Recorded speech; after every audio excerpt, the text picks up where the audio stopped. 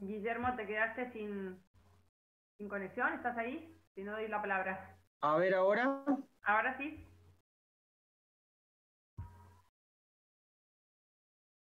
Sí. Bueno, eh, le damos la palabra entonces a Adolfo Moretti, que es director del Jardín Botánico Isla Victoria y coordinador del área forestal del Parque Nacional Nahuel Huapi.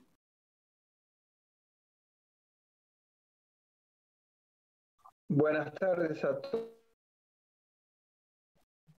todos de los senadores y las senadoras de la Comisión de Ambiente y Desarrollo Sustentable.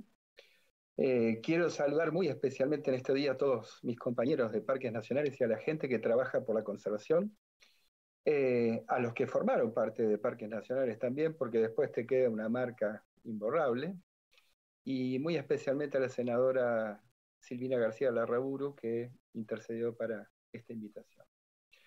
Eh, y le voy a pedir a Guillermo, para ser breve también, este, que pase un pequeño video sobre el Jardín Botánico de Isla Victoria y yo después solamente voy a decir algo durante tres o cuatro minutos. Es un video muy corto, dura menos de dos minutos, pero creo que las imágenes dicen más que mil palabras.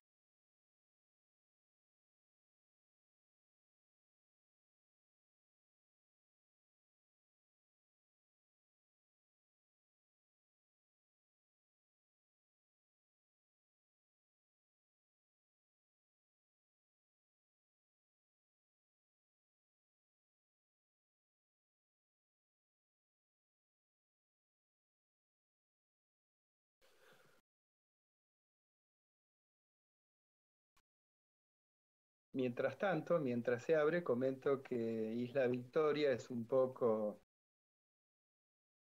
la historia y el corazón del nacimiento de los parques nacionales de Argentina, aún antes del año 1934, cuando se crean formalmente. A partir de la donación del Perito Moreno en 1903, a partir de un intento del Estado Nacional en 1922 de crear el Gran Parque Nacional del Sur, porque había una deuda con con el Perito Moreno y, esa deuda de crear este, un parque nacional, y finalmente que se concreta en 1934. Isla Victoria es el escenario de los paradigmas de conservación y desarrollo de toda esta región y en muchos sentidos de la Argentina también. Y es una historia que nos muestra un poco como país, cómo trabajamos para la conservación y para el desarrollo. Y particularmente Isla Victoria tuvo un vivero nacional creado en esa época, antes de la creación del Parque Nacional en 1924 por el entonces ministro de Agricultura Tomás Lebretón, y ese vivero fue un poco la nodriza de toda la actividad este, forestal que se llevó adelante este, en la región. Durante esa época, este, se introdujeron muchas exóticas, lo cual después se convirtió en un eh, problema, en el caso este de algunas, y actualmente este vivero se ha reconvertido para la producción de especies este, nativas, para la restauración, el fomento y para la, producción forestal. ¿No se puede ver el video? No sé si... Recién lo estaba reproduciendo, ¿ustedes no lo veían? No, no, no, no. No. ¿No lo ven ahí? No, no lo vemos. Voy a volver a intentar de compartirlo, a ver un segundo. Y quería suscribir a las palabras también hasta que aparezca el video de Daniel Soma. ¿Ahí lo pueden ver o no? Ahí está, perfectamente. Le doy play entonces. Por favor.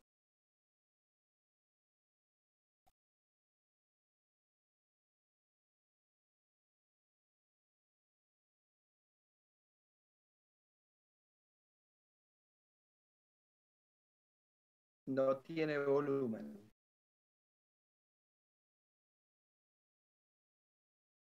Ahí.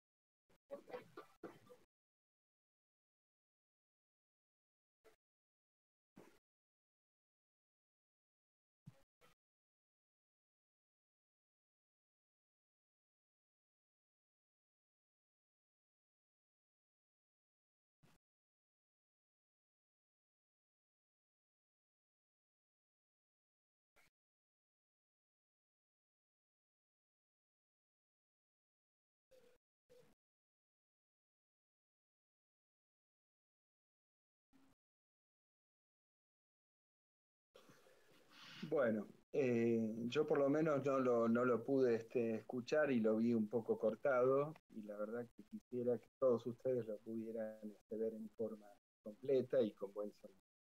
Pero Isla Victoria es... No te preocupes. Bueno, pero bueno, quería comentarles brevemente, Isla Victoria es como una especie de estación biológica, un lugar donde se hacen una serie de investigaciones y trabajos y actualmente estamos abocados a la producción de especies nativas para la, restauración.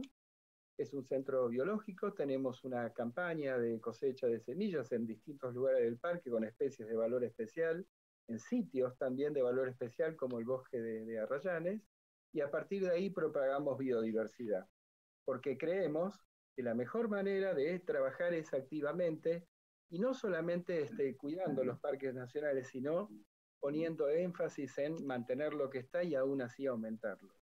Y como dijo Daniel Crosta, como dijo Daniel Soma, este, hay un eje muy importante en el desarrollo local. Todo lo que sale de Isla Victoria, todas las plantas que salen de Isla Victoria y todos los esfuerzos de, de conservación que se hacen son para la sociedad regional, para ONG, para barrios, para municipios. Creemos que el parque debe